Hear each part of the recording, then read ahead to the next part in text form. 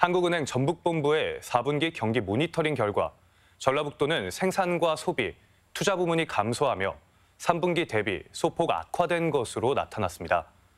앞으로의 전망 역시 제조업과 서비스업, 생산 소비와 건설 투자, 수출은 감소세를 이어갈 것으로 조사됐고 설비 투자는 보합세를 보일 것으로 전망됐습니다.